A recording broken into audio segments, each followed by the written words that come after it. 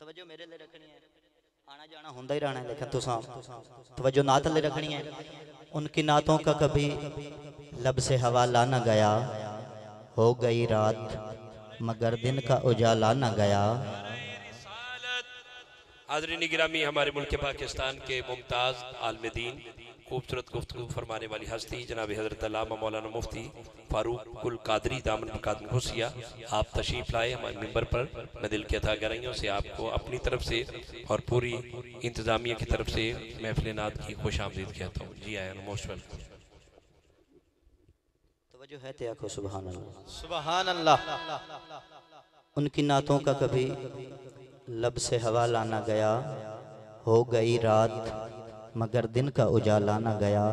ان جندے ہاتھاں تے میرے آقا دا قبضہ ہے سجا ہاتھ بلند کر کے اس جھوم کے بولنا ہے سبحان اللہ۔ سبحان اللہ۔ ان کی نعتوں کا کبھی لب سے حوالہ نہ گیا۔ ہو گئی رات مگر دن کا اجالا نہ گیا۔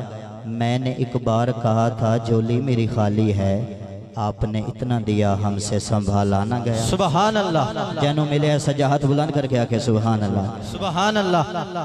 اسی عقیدت دے نال جس طرح آقا حضور دی ذات بلند تر ہے ورا الورا ہے اسی طرح بابا زی بلند درود پاک پڑھو، صلی اللہ علیہ یا رسول محبت نال، یا رسول اللہ۔ وسلم علیہ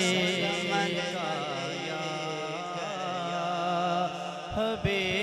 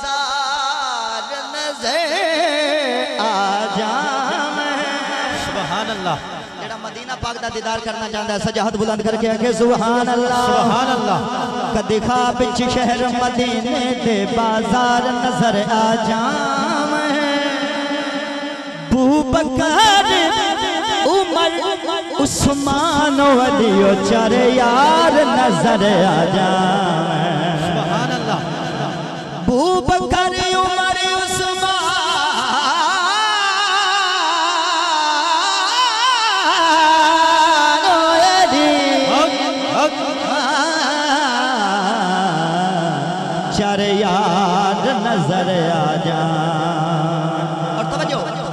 کربل دے سچے قافلے دے۔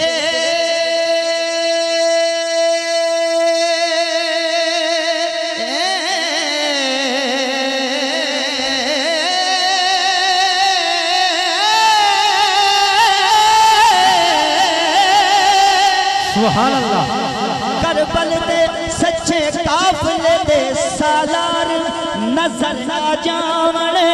نظر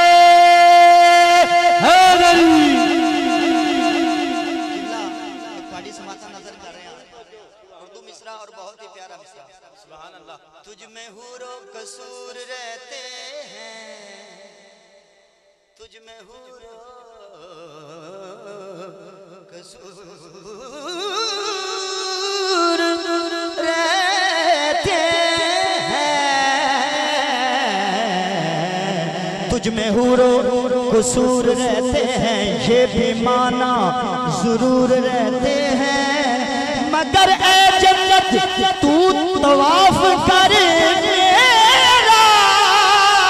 کیوں؟ کیونکہ میرے دل میں حضور رہتے ہیں۔ سبحان اللہ۔ نعرہ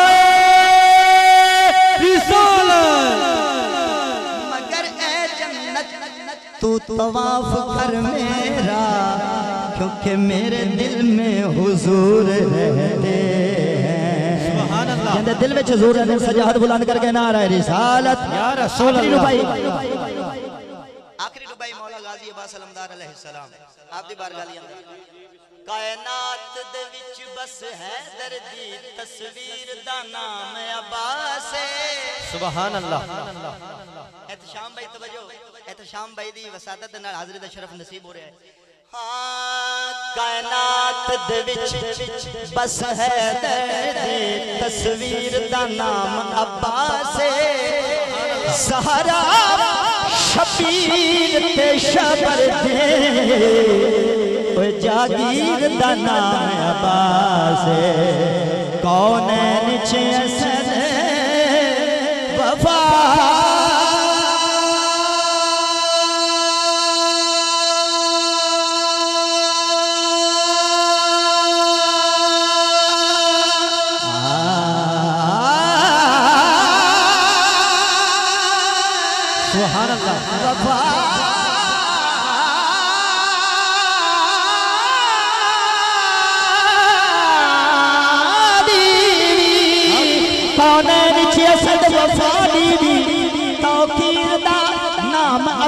جند علم دا سایہ خلقت تے اس پیر دا نام عباس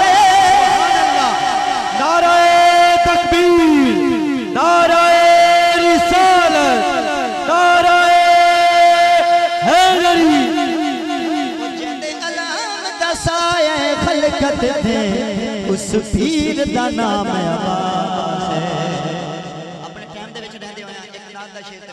قصیدہ پیش کرساں اجازت اور نات بہت ہی خوبصورت تسا میرے نال مل کے بول سو دوقت بالا ہو جاسی۔ سبحان اللہ۔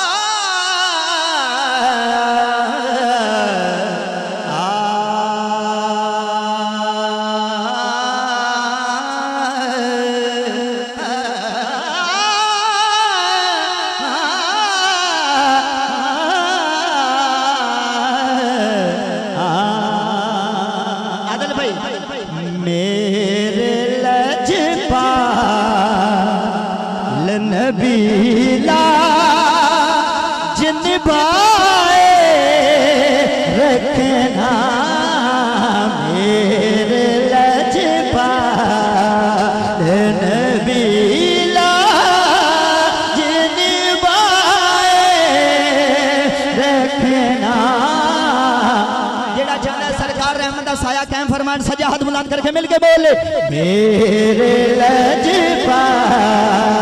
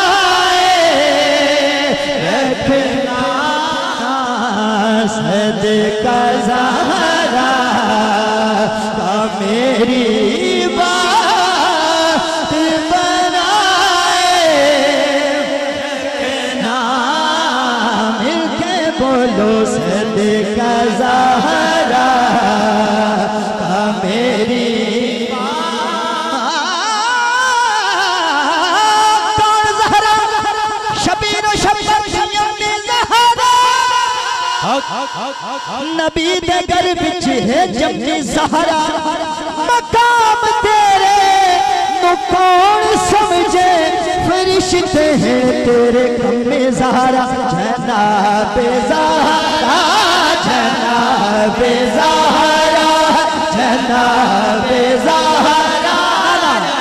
آخری شہر دو ماتھا بنا رہا ہے کے مل جناب زہرا۔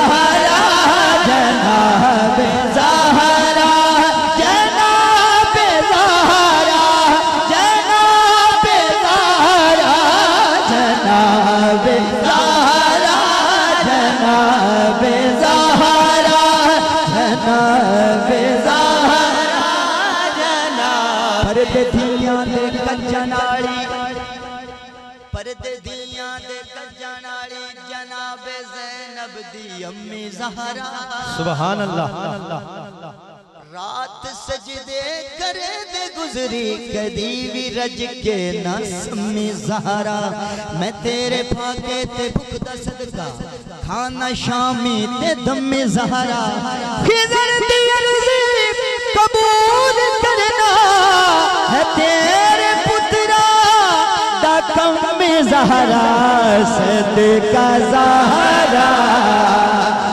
میری بات بنائے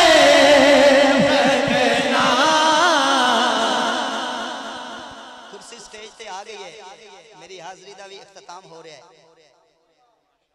آخری شیر تے نال ہی قصیدے دا شیر سبحان اللہ۔ نسبت والے لوگ مرشد والے لوگ بیٹھے ہو۔ سبحان اللہ۔ کچھ لوگ کہندے نے مرشد نو پھڑیے تے کی لبدا کچھ بھی نہیں لبدا تے ساڈا عقیدہ لبدا ہے۔ سبحان اللہ کچھ لوگ کہندے کچھ نہیں لبدا میں تا کہنا جتنا مرشد دیندا ہے اتنا کوئی بھی نہیں دیندا۔ مرشد وہ دوبارہ بھی کھا دیندا ہے جیڑا کوئی بھی نہیں بھی کھا سکدا۔ شیر سماعت کرو۔ شاہ کونین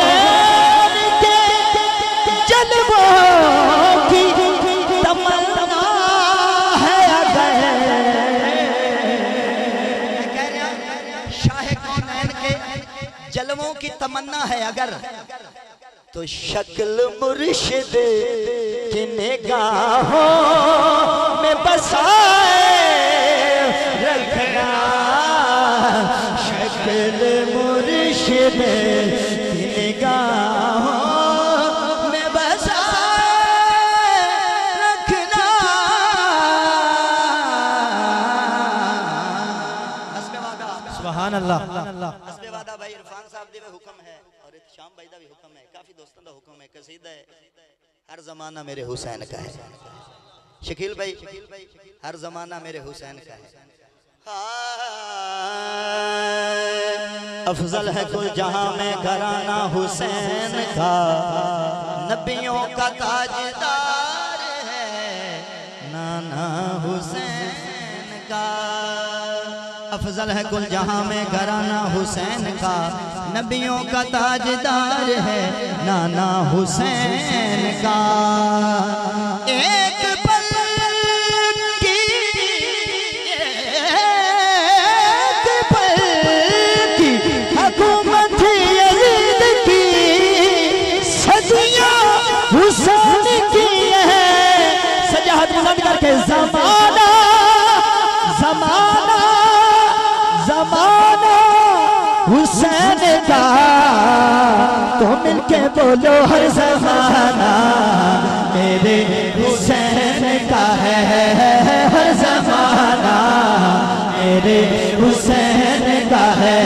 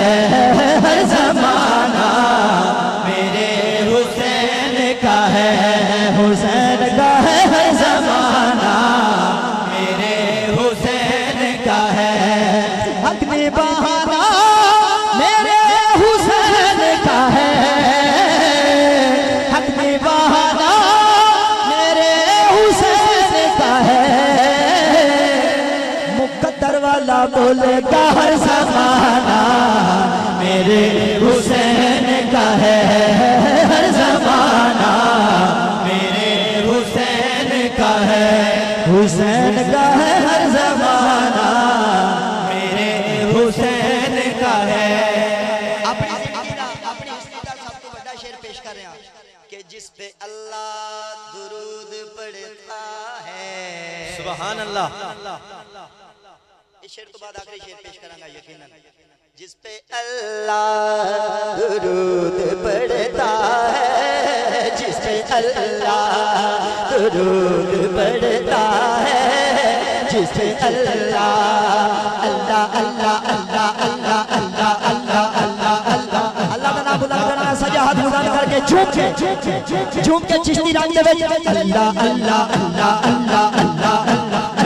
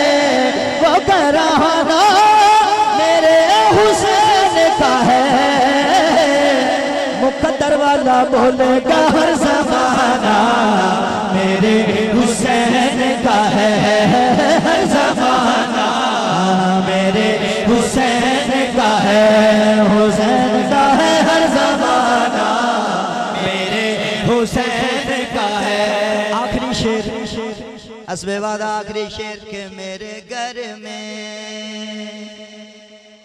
سبحان اللہ۔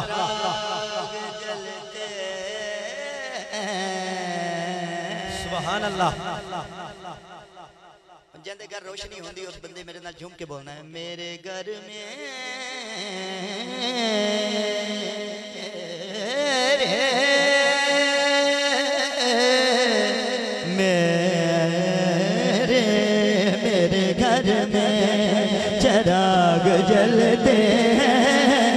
گھر میں چراغ جلتے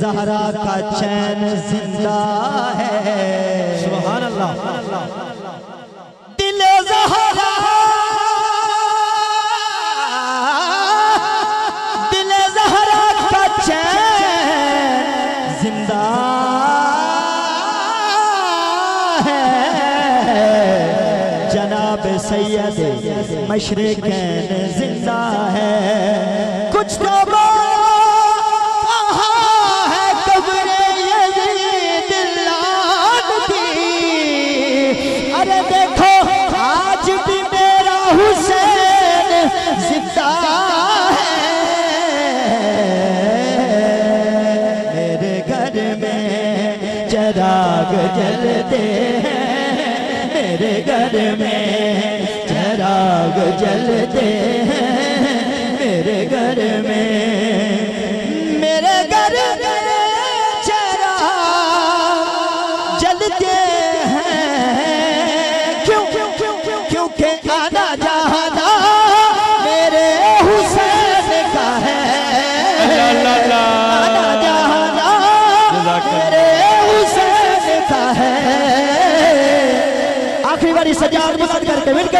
ہر زمانہ میرے حسین کا ہے۔ ہر زمانہ میرے حسین کا ہے۔ حسین کا ہے۔ ہر زمانہ میرے حسین کا ہے۔ قبلہ آپ کرسی پر تشریف لائیں۔ میں بلا تمہید، ادھر ہی پڑی رہنے دیں حضرت آپ اٹھیے۔ حضرین گرامی، جناب علی صفدر کولڑوی صاحب نے بڑی محبت کے ساتھ اپنی حاضری مکمل کی۔ اب بلا تمہید، کیونکہ قبلہ نائنٹی ٹو چینل پر بھی لائیو پروگرام میں بھی اور اکثر ملاقاتوں کا جو ٹی وی پر دیکھنے کا سلسلہ رہتا ہے، حضرت کی بڑی مصروفیت۔ آپ اپنی میں ساری مصروفیت ترک کر کے ہماری محفل میں تشریف لائے۔ میری مراد حضرت علامہ مولانا مفتی فاروق القادری صاحب دامن برکات مرسیہ میں ان کو مائک پہ دعوت دے چکا ہوں تاکہ وہ اپنی معروضات مدینے والے آقا کی بارگاہ میں پیش فرمائیں۔ بھائی عرفان صاحب تشریف لائے، دوستوں کو، سبھی آنے والوں کو۔ میں اپنی طرف سے اور پوری میں اپنے نعت کی انتظامیہ کی طرف سے خوش آمدید کہتا ہوں۔ حضرت کی قبلہ کی تقریر کے بعد اکرم حسان صاحب، حسن رضا شاہد اور محمد نعیم شہزاد روفی صاحب۔ تین نعت خوان ہیں وہ انشاءاللہ تعالیٰ قبلہ کی تقریر کے بعد اپنی حاضری پیش کریں گے، پھر درود و سلام ہوگا، دعا ہوگی۔ استقبال کیجیے، مل کر کہیے نعرہ تکبیر۔ نعرہ رسالت۔ نعرہ رسالت۔ نعرہ تحقیق۔ نعرہ حیدری۔ نعرہ غوثیہ۔ لبیک لبیک لبیک یا رسول اللہ، لبیک لبیک لبیک یا رسول اللہ لبیک لبیک لبیک یا رسول اللہ تاجدار ختم نبوت۔ جی بسم اللہ حضرت۔ نحمده ونصلي ونسلم على رسوله الكريم أما بعد فأعوذ بالله من الشيطان الرجيم بسم الله الرحمن الرحيم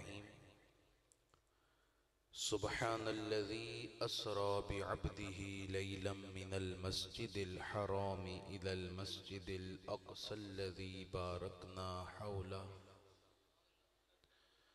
الذي باركنا حوله لنريه من آياتنا إنه هو السميع البصير. وقال الله تعالى في شان حبيبه إن الله وملائكته يصلون على النبي يا أيها الذين آمنوا صلوا عليه وسلموا تسليما درود و سلام محبت کے ساتھ صلاة و السلام علیکہ یا رسول اللہ وعلا آلیکہ و اصحابکہ یا حبیب اللہ۔ اللہ رب العالمین کی حمد و ثنا اور سرکار دو جہاں رحمت عالمیاں شفیع مذنباں صلی اللہ تعالی علیہ وآلہ وسلم کی بارگاہ ناز میں درود و سلام عرض کرنے کے بعد سٹیج پر تشریف فرما، جملہ اہل علم و دانش ثنا خانان نظام، معززین اور میرے انتہائی عزت اور احترام کے لائق جملہ حاضرین اور سامعین محترم۔ آج کی اس محفل کا اہتمام کرنے والے جملہ احباب یقیناً لائق صد تحسین ہیں۔ اللہ کریم انہیں جزائے خیر عطا فرمائے۔ کل چھبیس رجب المرجب ہے اور آج کا دن شروع ہو چکا ہے۔ آج کی رات شروع ہو چکی ہے۔ اور کل ستائیس رجب المرجب کی وہ رات ہوگی جس رات کے بارے میں محققین نے یہ لکھا ہے کہ حضور جان عالمین صلی اللہ علیہ وآلہ وسلم کے حق میں سب سے افضل رات وہ شب معراج ہے۔ اس لیے کہ شب معراج رحمت کون و مکان صلی اللہ علیہ وآلہ وسلم نے اپنی کھلی آنکھوں سے اپنے کریم پروردگار کا دیدار کیا ہے۔ آج اسی مناسبت سے چند ایک باتیں آپ کے ساتھ کروں گا۔ امید ہے آپ توجہ فرمائیں گے۔ ہر نبی اپنی تمام تر عظمت و شان کے باوجود ایک مکان تک پہنچا اور اللہ نے اپنے حبیب کو وہاں پہنچا دیا جہاں مکان ہی کوئی نہیں ہے۔ کسی کی مسند سمجھنا آسان ہے اور سمجھا جا سکتا ہے۔ کسی کے مکان کو سمجھا جا سکتا ہے۔ ابھی آپ دیکھ رہے ہیں ہم ایک مکان میں بیٹھے ہوئے ہیں، ایک جگہ میں ہیں۔ ایک مسند پر بیٹھے ہیں۔ لیکن اللہ کے ہاں ہم سب کا مقام کیا ہے، ہمیں نہیں پتا۔ مکان سب کو پتا ہے، مقام کا کسی کو پتا میراج کی رات حضور لا مکان چلے گئے جہاں مکان ہی کوئی نہیں۔ تو جس نبی کا کسی کو مکان نہیں پتا، اس نبی کے مقام کا کیسے پتا چل سکتا ہے؟ اللہ رب العالمین نے اس قدر عز و شان اور بلند رتنا رتبہ اپنے حبیب کو عطا فرمایا۔ حضرت موسیٰ علیہ السلام تور پہاڑ پر اللہ سے ہم کلام ہوئے اور اللہ کے محبوب لا مقام، اللہ کے حریم قدس میں اللہ سے ہم کلام ہوئے۔ حضور پیارے مصطفیٰ کریم علیہ السلام شب معراج تشریف لے گئے، آسمانوں کو کراس کیا، عرش محلہ کو کراس کیا ستر ہزار حجابات کو کراس کیا اور لا مقام میں اللہ کی بارگاہ میں چلے گئے۔ راستے میں آسمانوں پر ماں سوائے حضرت عیسیٰ اور حضرت ادریس علیہ السلام کے تمام انبیاء کرام کی ارواح موجود حضرت عیسیٰ اور حضرت ادریس یہ جسم کے ساتھ موجود تھے۔ باقی ارواح کی، باقی انبیاء کی ارواح پاک موجود تھی حضور کی سب سے ملاقات ہوئی، ان سب نے حضور کا استقبال کیا اور حرور ان سے ملاقات کر کے آگے تشریف لے گئے۔ کسی نبی کی روح نے اس خواہش کا اظہار نہیں کیا کہ آپ یہاں سے آگے جا رہے ہیں تو ہمیں بھی اللہ کے دربار میں ساتھ لے جائیں۔ حالانکہ لیے روح کی بہت طاقت ہے۔ روح ایک دو لمحے میں آسمان سے زمین پر آ سکتی ہے اور جسم کو پہلے آسمان تک پہنچنے کے لیے پانچ سو سال لگتے ہیں۔ پھر دوسرے آسمان تک پانچ سو سال۔ تو روح کی بہت طاقتیں ہیں۔ ایک عام انسان کی روح میں یہ طاقت ہے، تو انبیاء کی ارواح میں تو جو طاقتیں ہیں، وہ تو عقل و خیال سے بالا تر ہیں۔ باوجود یہ کہ ان کی ارواح موجود ہیں اور بڑی طاقتیں ہیں روحوں کی، کسی نبی نے یہ نہیں کہا کہ حضور ہمیں بھی ساتھ لے جائیں۔ حضور علیہ السلام اکیلے اپنے جسم پاک کے ساتھ آگے تشریف لے جاتے ہیں۔ حضرت جبریل نے بھی کہہ دیا، آگے قدم رکھوں گا تو پر جل جائیں گے۔ معلوم یہ ہوا، جہاں انبیاء کرام کی روحیں بھی نہیں پہنچ سکتی وہاں مصطفیٰ کریم اپنے جسم کے ساتھ تشریف لے جاتے ہیں۔ جو اوصاف اور جو کمالات اوروں کی روحوں کو بھی حاصل نہیں، اللہ نے اپنے حبیب کے جسم کو وہ طاقتیں عطا فرمائی جب حضور کے جسم کی یہ شان ہے، تو حضور کی روح اور حضور کی حقیقت کو کون سمجھ سکتا ہے؟ کسی شخص کی آنکھ بہت دور تک دیکھتی ہے۔ اتنا دور دیکھتی ہے کہ آپ زمین پر کھڑے ہوں تو آپ آسمان کو دیکھ لیتے ہیں۔ آپ کی، آپ کا جسم وہی ہے، لیکن آنکھ کا احاطہ کتنا زیادہ ہے کہ وہ دور دراز تک پہنچتی ہے، حتیٰ کہ آسمان کو بھی دیکھ لیتی ہے۔ حضرت ابراہیم علیہ السلام کو اللہ تعالیٰ نے فرمایا وَكَذَلِكَ نُورِي إِبْرَاهِيمَ مَلَكُوتَ السَّمَاوَاتِ وَالْأَرْضِ ہم نے حضرت ابراہیم علیہ السلام کو آسمان و زمین کی بادشاہت دکھائی۔ حضرت ابراہیم علیہ السلام زمین پر کھڑے ہیں، آسمان کی طرف نظر اٹھائی تو سارے آسمانوں کو، پہلے آسمان سے لے کر ساتویں آسمان تک۔ اللہ کی ساری بادشاہت کو زمین پر کھڑے کھڑے دیکھ لیا۔ اور نیچے نظر دوڑائی تو ساتیں زمینیں اور تحت سرا تک کی اللہ کی بادشاہت کو دیکھا۔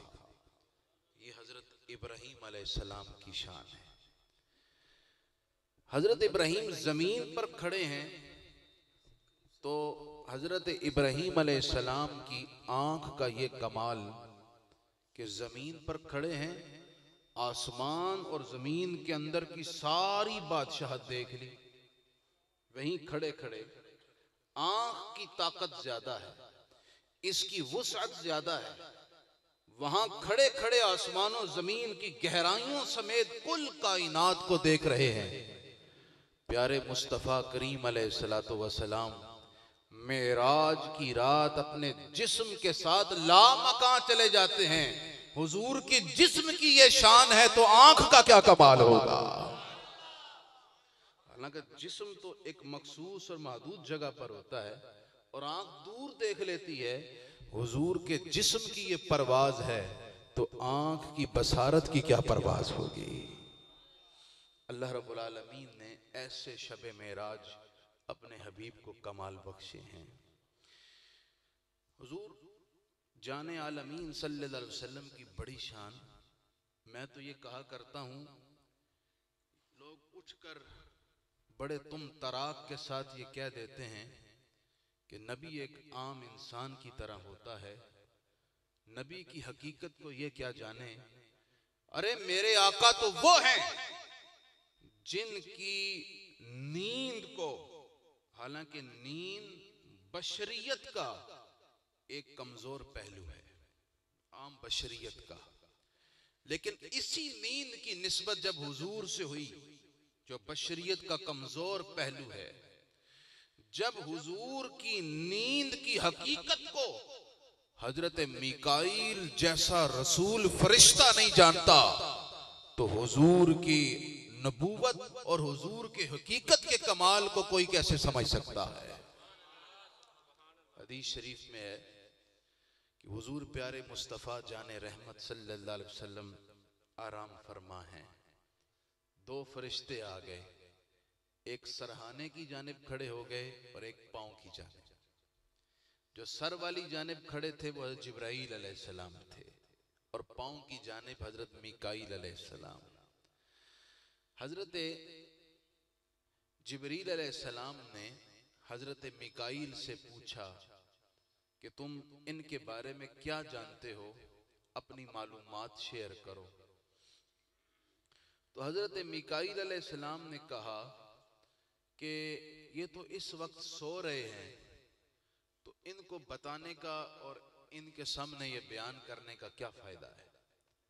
تو جناب جبریل علیہ السلام والسلام نے فرمایا، ان کی آنکھ سو رہی ہے، دل جاگ رہا ہے، جو تم کہہ رہے ہو، جو میں کہہ رہا ہوں، یہ سن رہے ہیں۔ حالانکہ حضرت میکائیل علیہ السلام رسول فرشتے ہیں، انہیں حضور کی نیند کی حقیقت کا نہیں پتا، تو ایک عام انسان کو کیا، ایک خاص انسان کو، بلکہ اللہ کے علاوہ کائنات میں کوئی حضور کی حقیقت کو جان نہیں سکتا۔ حضور جان رحمت صلی اللہ علیہ وسلم شب معراج مسجد اقصا سے بیت المقدس بیت المقدس سے پہلے آسمان ساتوں آسمان سدرات المنتہا، عرش مولا لا مکان اللہ کے انوار کی دیدار، پھر کل کائنات کی سیر کر کے واپس تشریف لے آئے حضور پیارے آقا صلی اللہ علیہ وسلم نے یہ جو سفر کیا، ویسے کسی کا بھی سفر ہو تو سفر سے متعلق ہمیشہ کون بیان کرتا ہے؟ اگر صدر یا وزیر اعظم سفر کرے تو ان کے سفر کے احوال کو ان کا ماتحت وزیر بیان کرتا ہے۔ بتاتا ہے جناب فلانی جگہ پہنچے ہیں، فلاں فلاں سے ملاقاتیں ہیں فلاں جگہ کا وزٹ کریں گے اور فلاں وقت میں واپس آئیں گے۔ وزیر اعظم یا صدر سفر کرے تو ماتحت بیان کرتا ہے کہ یہ یہ ہیں جی سفر کے حالات۔ لیکن قربان جائیں بی بی آمنہ کے لال پر۔ کیسا سفر کیا؟ سفر ایسا کیا؟ سفر کرنے والے مخلوق ہیں۔ اور سفر کے احوال بیان کرنے والا خالق کائنات ہے۔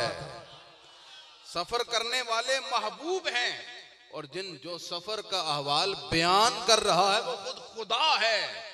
وہ فرماتا ہے، سبحان الذي اسرا بعبده ليلا من المسجد الحرام الى المسجد الاقصى الذي باركنا حوله لنريه من آياتنا انه هو السميع البصير یہ حضور کے سفر کی شان کہ آپ کے سفر کے حالات کا بیان آپ کا پروردگار فرما رہا ہے۔ کوئی صحابی ہوتا، ساتھ تو بڑے ذوق سے سفر کی جزیات بیان کرتا، لیکن کوئی ساتھ تھا ہی نہیں۔ آپ کہیں گے جبرائیل تو ساتھ تھے، وہ بیان کر دیتے۔ جناب والا، جناب جبریل بھی سارے سفر کو بیان نہیں کر سکتے، اس لیے کہ صدرت المنتہا پر وہ بھی ٹھہر گئے۔ وہ بھی آگے کے حوال کو وہ بھی نہیں جانتے۔ اس لیے سفر کو بھلا وجہ الکمال وہ ہی بیان کر سکتا ہے جو سارے سفر کو جانتا ہو اور سارے سفر کو اللہ جانتا ہے۔ اس لیے اپنے حبیب کے سفر کے احوال کا بیان بھی خود خالق کائنات فرما رہا ہے۔ کوئی سفر کرے تو اس کے سفر کے چند ایک حالات ہوتے ہیں۔ مثلا سفر سے متعلق سوال کرنے والے کے ذہن میں چند سوال آتے ہیں کہ سفر کس نے کرایا؟ سفر کس نے کیا؟ سفر کہاں سے کیا اور کہاں تک کیا؟ چار سوال ہو گئے۔ سفر دن میں کیا؟ سفر کتنی دیر میں کیا اور سفر کیوں کیا؟ یہ سات سوال بنتے ہیں۔ اللہ تعالیٰ کا یہ اس کی قدرت کا کمال ہے۔ اس نے ساتوں اتنے بڑے بڑے سوالوں کا جواب صرف ایک آیت میں عطا فرما دیا۔ سفر کس نے کرایا؟ فرمایا، سبحان الذي اسرا بعبده۔ سفر سبحان نے کروایا، اللہ رحمان نے کروایا۔ سفر کس نے کیا؟ بعبده۔ اللہ نے اپنے بندہ خاص کو سفر سفر کروایا۔ سفر کہاں سے کیا؟ فرمایا من المسجد الحرام۔ سفر کہاں تک کیا؟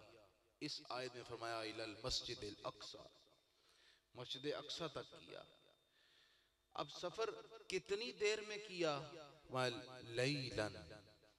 رات کے وقت کیا اور کتنی دیر میں کیا؟ لیلن۔ تعریف تنکیر کی ہے۔ رات کے مختصر سے حصے میں چند لمحوں میں یہ سفر ہوا ہے۔ اور سفر کیا کیوں ہے؟ فرمایا لی دوری من آیاتینا سفر اس لیے کرایا گیا ہے کہ خالق کائنات اپنی قدرت کی نشانیاں اپنے حبیب کو دکھانا چاہتا ہے۔ اب دیکھیں، اتنے بڑے بڑے سات سوال ہیں۔ اللہ نے ایک ہی آیت میں ساروں کے جواب عطا فرما دیے۔ میرے رب کی کتنی شانیں اور اس آیت میں نقطہ دیکھیں۔ اللہ تعالیٰ نے اس آیت کا آغاز اپنے پاک نام سبحان سے کیا۔ سبحان کون ہے؟ اللہ اس میں موصول ہے۔ تھوڑی سی پیچیدہ بات ہے، لیکن آپ بڑی آسانی سے سمجھ جائیں گے۔ کسی کا تعارف کروانا ہو تو آپ کہتے ہیں کہ یہ صاحب ہیں۔ انہوں نے فلاں فلاں علم پڑھا ہے، یہ اتنے بڑے کاریگر ہیں، فلاں فلاں چیزیں بناتے ہیں۔ اللہ تعالیٰ نے اس آیت کے شروع میں اپنا تعارف کروایا۔ جب آپ کسی کا تعارف کرواتے ہیں، تو اس کی امتیازی حیثیت بیان کرتے ہیں۔ کہ جی یہ ڈاکٹر ہے، اس نے پی ایچ ڈی کیا ہے، فلاں فلاں سبجیکٹ میں، اور یہ اسپیشلسٹ ہے اس شعبے میں۔ آپ اس کی امتیازی حیثیتیں بیان کر کے اس کا تعارف کرواتے ہیں۔ اللہ تعالیٰ نے شروع میں اپنا نام ذکر کیا، سبحان۔ اب اللہ تعالیٰ بتا رہا ہے کہ سبحان کون ہے۔ اللہ اپنا تعارف کروا رہا ہے۔ اور تعارف میں امتیازی شانیں بیان ہوتی ہیں۔ اللہ بتا رہا ہے میری امتیازی شان کیا ہے۔ میرا تعارف سننا چاہتے ہو تو سنو۔ میرا کمال دیکھنا چاہتے ہو تو دیکھو۔ اور سنو میرا تعارف کیا ہے۔ سبحان الذي اسرا بعبده ليلا من المسجد الحرام۔ اللہ سبحان وہ ہے جس کے تعارف کے لیے امتیازی شان یہی کافی ہے۔ اس نے اپنے حبیب کو معراج کی رات سفر کروایا ہے۔ اللہ نے اپنے کے طور پر اپنے حبیب کے سفر کو پیش کر دیا کہ یہی اتنی بڑی اللہ کی شان ہے جو اس نے اپنے حبیب کے لیے ظاہر فرمائی کہ یہ ایک شان ہی اس کے تعارف کے لیے کافی ہے۔ حضرت گرامی، اللہ تعالیٰ جل شانہ نے اس آیت میں اپنے حبیب کو فرمایا بھی عبدی ہی اپنے بندہ خاص کو۔ ویسے تو ہر شخص اللہ کا بندہ ہے بلکہ قرآن مجید نے تو ہر شے کو عبد کہا ہے۔ لیکن اللہ تعالیٰ نے بے عبدی ہی فرمایا، بندہ ایک کامل۔ اس کا ترجمہ یہ کریں گے، بے عبدی ہی اس کا بندہ، اللہ کا بندہ۔ ہر شخص کہتا ہے، میں اللہ کا بندہ ہوں۔ لیکن اللہ کسی کو نہیں فرماتا کہ یہ میرا بندہ ہے۔ خاص طور پر محبت سے، عنایت سے، چاہت سے۔ لیکن اپنے حبیب کا ذکر کرتے ہوئے فرماتا ہے بھی عبدی ہی۔ یہ میرے بندے ہیں۔ یہ میرا بندہ ہے۔ اور جب اپنا اپنے حبیب کے ساتھ تعلق ظاہر کرتا ہے، تو کیسے فرماتا ہے؟ الحمد للہ انزل على عبده الكتاب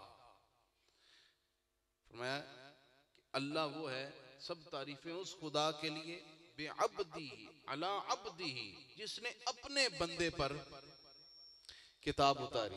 اللہ نے اپنے حبیب کو اپنا بندہ کہا۔ لیکن اب اپنا تعارف، اپنی نسبت اپنے حبیب کے ساتھ ذکر کرتے ہوئے فرماتا ہے، اے حبیب، اذکر ربک۔ تمہارا رب حضور کے بارے میں فرماتا ہے بھی عبدی میرا بندہ۔ اور اپنا رب ہونا جب ظاہر کرتا ہے، فرماتا ہے وذکر ربک حبیب، اپنے رب کو یاد کرو۔ تمہارا رب وَإِذْ قَالَ رَبُّكَ لِلْمَلَائِكَ تمہارا رب، حضور کو اللہ فرماتا ہے، میرا بندہ۔ اور اپنا ذکر کرتے ہوئے فرماتا ہے، تمہارا رب، میرا بندہ، تمہارا رب۔ مجھے کہنے دیجیے، اللہ ان لفظوں سے یہ فرما رہا ہے، محبوب تم ہمارے ہو اور ہم تمہارے ہیں۔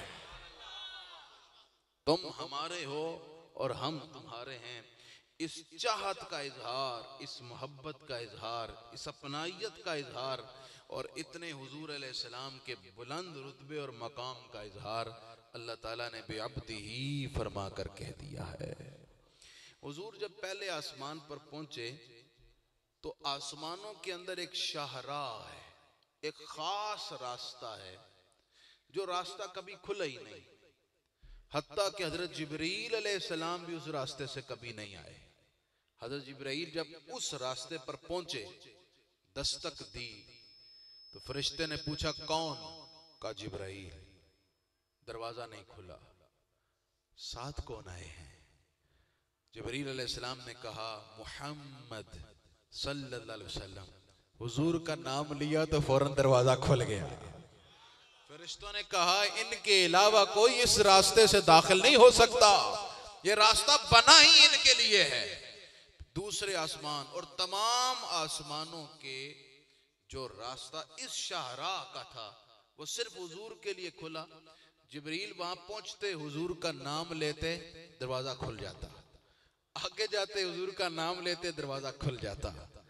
میرے آقا کے نام کی عزت، عظمت اور احترام دیکھو۔ اس نام کو لو تو آسمانوں کے دروازے کھلے۔ اس نام کو لو تو کلمہ پڑھ کر بندہ مسلمان ہوتا ہے۔ اسی نام سے قبر میں اجالا ہوتا ہے۔ اسی نام سے جنت کا دروازہ کھلے گا۔ اسی نام سے شفاعت کا دروازہ کھلے گا۔ اسی نام سے کر قیامت بندہ جب جنت میں داخل ہوگا، دروازے پر یہی نام لکھا ہوگا۔ تو حضور کے نام کی عظمتیں اللہ تعالیٰ کل کائنات میں ظاہر کر رہا ہے۔ اور شب میراج بھی جناب جبریل امین کے سامنے یہ ظاہر کر کے بتا دیا۔ یہ دروازے وہ ہیں جو اللہ تعالیٰ نے صرف اپنے حبیب کے لیے رکھے ہیں۔ جہاں جہاں میرے حبیب کا نام لیا جائے گا، وہاں دروازہ کھلتا چلا جائے گا۔ اس لیے توبہ کی قبولیت کا دروازہ بھی سرکار کا نام ہے۔ قرآن کہتا ہے، گناہ کر لو، ظلم کر لو، جاؤ کا میرے حبیب کے در پر آ جاؤ۔ عزیزان کرامی، اللہ تعالیٰ نے اس سفر میں حضور کو بڑے عجائبات دکھائے۔ اس سے قبل کہ میں ایک دو حضور کے سیر کے جو مشاہدات ہیں وہ بتاؤں، ایک اور بات آپ سے شیئر کر لوں۔ حضور جان رحمت صلی اللہ علیہ وآلہ وسلم، اس سفر پر جاتے ہیں تو آغاز کس سے ہوا؟ سبحان اللہ کی یاد سے۔ سفر کا اختتام کس پر ہوا؟ انہو ہوا السمیع البصیر، وہ بھی اللہ کی یاد سے۔ اور حضور جو اللہ کی بارگاہ سے توفہ لے کر آئے نماز، وہ بھی کیا ہے؟ اللہ کی یاد۔ ہے سفر کا آغاز بھی اللہ کے ذکر سے، سفر کا اختتام بھی اللہ کے ذکر پر، اور سفر میں جو حضور تحفہ اللہ سے لے کر آئے، وہ بھی اللہ کا ذکر لے کر آئے۔ انسان نے آج بڑی ترقی کی ہے۔ انسان نے ترقی کی اور اس مادی جہان سے نکلا، اس مٹی والی زمین سے نکلا اور پہنچا چاند پر۔ تو دیکھا چاند پر بھی مٹی ہے۔ پھر وہاں مٹی جب دیکھی تو بطور سوغات کے چاند کی مٹی زمین پر لے آئے سائنسدان اور کہا، یہ دیکھو، یہ چاند کی مٹی ہے۔ تو انسان مادی ترقی کی مٹی سے نکلا، مٹی میں پہنچا اور مٹی لے کر آیا۔ معلوم یہ ہوا کہ مادی ترقی میں کوئی شخص مٹی سے باہر نہیں نکل سکتا۔ لیکن روحانی ترقی میں شخص نکلے تو اللہ کے قرب میں پہنچ جاتا ہے۔ اور کل کائنات میں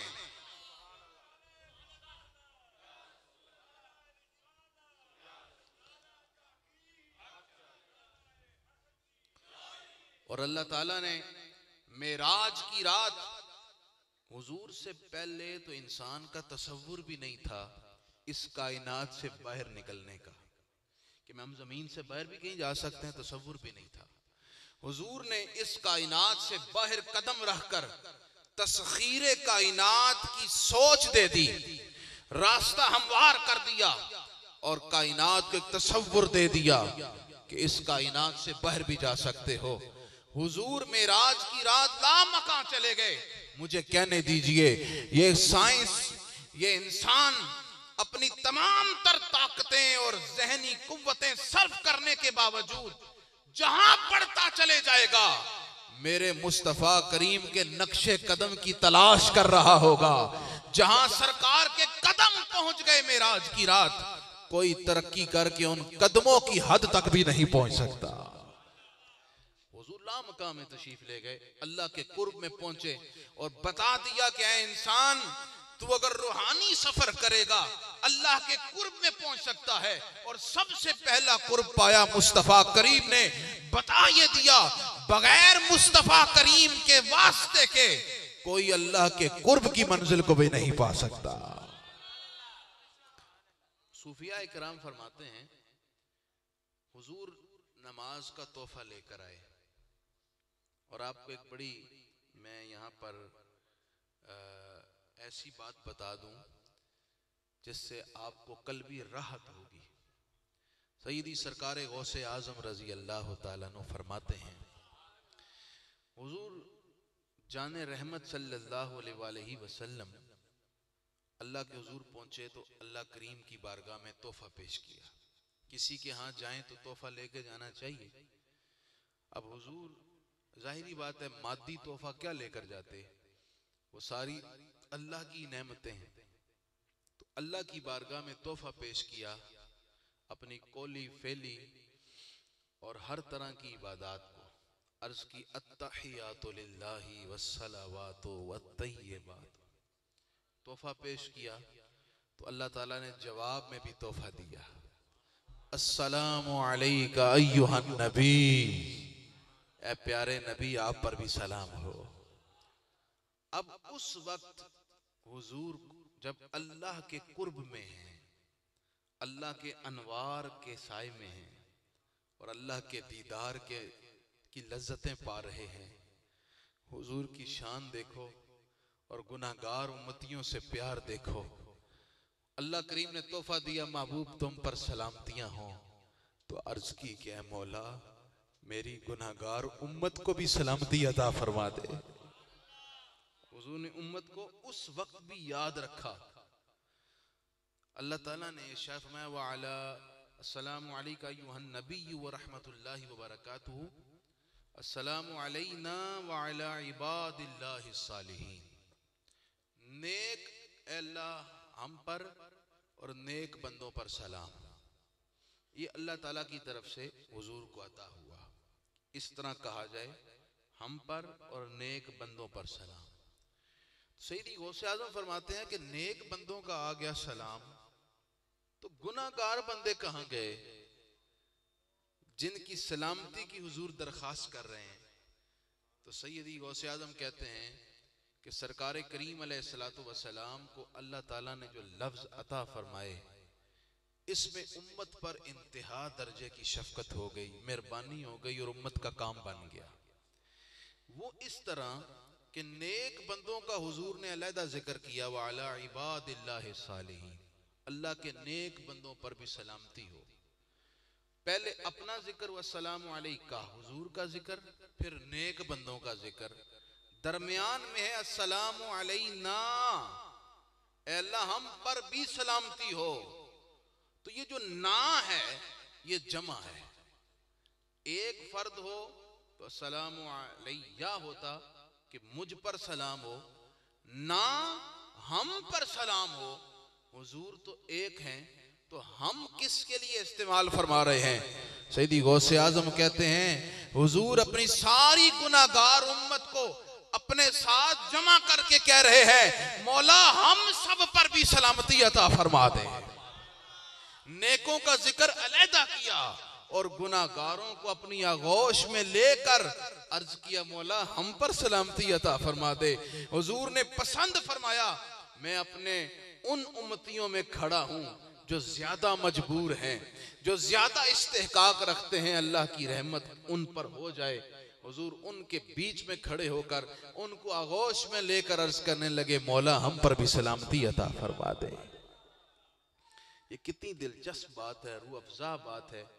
اور سرکار کا کتنا کرم ہے اپنی امت پر۔ جو سرکار میں شب میراج اللہ کے قرب میں اپنی امت کو نہیں بھولے، اس امت کی کتنی زیادہ بد نصیبی ہے، کم بختی ہے اور کتنی زیادہ کوتا ہی ہے کہ ہم اپنے نبی کی کے ساتھ وفا کرنا بھول جائیں۔ ہم اپنے شادی بیاہ کے موقع پر اپنے نبی کو بھول جائیں۔ ہم پانچوں وقت جب اذان کا ترانہ گونجے، اپنے نبی کو بھول جائیں، یہ کتنی زیادہ کوتاہی ہے۔ اگر ہمیں اپنے پیارے آقا صلی اللہ علیہ وسلم سے سچا پیار اور محبت ہے، تو ہمیں آپ کی سیرت کو اپنانا ہوگا۔ اور شب معراج جو ہمیں نہیں بھولے، ہمیں زندگی کی ہر سانس میں انہیں یاد رکھنا ہوگا۔ جو میں بات عرض کر رہا تھا، اللہ کریم نے نماز عطا فرمائی۔ حضور نماز لے کر آ گئے۔ نمازیں پانچ ہو گئیں، ثواب پچاس کے برابر حضور لے آئے۔ اللہ تعالیٰ نے جو اپنے حبیب کو نماز عطا فرمائی امت کے لیے، حضور کے لیے، امت کے لیے جو نماز ہے، اس نماز میں در اصل شب معراج کی یاد تازہ ہوتی ہے۔ ایک تو اس طرح کہ اس میں آپ اس- وہ اتحیات پڑھتے ہیں تو وہ یاد تازہ ہوتی ہے۔ ایک اور جہت بھی ہے۔ صوفیہ اکرام فرماتے ہیں کہ شب معراج حضور کی تین حالتیں تھیں۔ اللہ تعالیٰ نے ان تین حالتوں کو جمع کر کے نماز عطا کر دی۔ تو نماز نام شب معراج کی ان حضور کی تین حالتوں، تین اداؤں کا ہے۔ وہ کیا ہے فرمایا، حضور نے مسجد حرام سے مسجد اقصا تک کا سفر کیا۔ یہ قیام کی حالت ہے۔ حضور کھڑے ہوئے ہیں۔ یہ قیام کی حالت ہے۔ حضور نے مسجد اقصا سے سدرت المنتہا کا سفر کیا اور لام مکان تک کا جو سفر کیا، یہ ہے رکوع کی حالت۔ یہ رکوع کی حالت ہے۔ اور حضور اللہ کے قرب میں ہے، یہ ہے سجدے کی حالت۔ اللہ تعالیٰ نے جو مسجد اقصا تک کا سفر ہے اس کو نماز میں قیام بنا دیا۔ مسجد اقصا سے جو لام مکان تک کا سفر ہے، اسے رکوع بنا دیا۔ اور حضور فرماتے ہیں، جب تم سجدہ کرتے ہو، تو سجدہ کرتے ہوئے تم اپنی پیشانی زمین پر رکھ کر اللہ کے قریب ہو جاتے ہو۔ تو حضور شب معراج جب لا مقام اللہ کے قرب میں آئے، تو اس قرب کی لذت کو سجدے میں رکھ دیا۔ تو حضور کی تین اداؤں کو سمیٹ کر اللہ نے جو اس امت کو تحفہ عطا کیا وہ نماز کی صورت میں عطا فرمایا ہے۔ یوں جب آپ نماز کے لیے کھڑے ہوتے ہیں تو حضور کے سفر معراج کی یاد کو تازہ کرتے ہیں اور اس نماز کی صورت میں حضور سے عہد وفا کرتے ہیں۔ آقا، ہم آپ کے ہیں۔ جب آپ کا خدا آپ کو اتنا چاہتا ہے تو ہمیں آپ کی غلامی پر، ہمیں آپ کا غلام ہونے پر بڑا فخر ہے، بڑا ناز ہے۔ ہم کبھی آپ کو نہیں بھولیں گے، ہمیشہ آپ کے نقش قدم کی اتباع کرتے رہیں گے۔ پیارے بھائیوں، اب آخری میں دو باتیں، اور میں جب کہہ دوں نا آخری، تو پھر میں آخری کرتا ہوں۔ میں آخری شعر کی طرح پھر دس بارہ شعر اور نہیں پڑھتا۔ اب آخری دو میں آپ کو حدیثیں سنانے لگا ہوں۔ ایک تو تفسیر رول بیان میں ہے کہ حضور نے جب جہنم کا مشاہدہ کیا تو دیکھا ایک آدمی دوزخ میں ہے، دوزخ کی آگ میں کھڑا ہے لیکن جل نہیں رہا۔ پوچھا جبرائیل، یہ کیا معاملہ ہے؟ عرض کی حضور، اس شخص کا نام ہے حاتم تائی۔ سنا ہے آپ نے نام بہت بڑا سخی تھا، لیکن مسلمان نہیں تھا، عیسائی تھا۔ لیکن ان کے بیٹے اور ان کی بیٹی دونوں مسلمان ہو گئے۔ یمن کے رہنے والے تھے۔ حضور اس کا نام حاتم تھا یہ سخی بہت تھا۔ لوگوں کے لیے آسانیاں فراہم کرتا، کھانے کھلاتا، سخاوت کرتا، مخلوق سے پیار کرتا تھا۔